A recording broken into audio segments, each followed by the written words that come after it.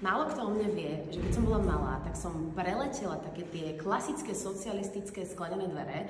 Mala som všade pozapichované sklo, všade bola krv, rev a zostala mi napríklad jazva na pere, o ktorej málo kto vie. A myslím, že ani na obraze nie je veľmi vidno. Druhá vec, čo o mne málo kto vie, je, že mám šialenú fóbiu zo žuvačiek, takých tých vyžuvaných a keď sa niekde nalepia katastrofa.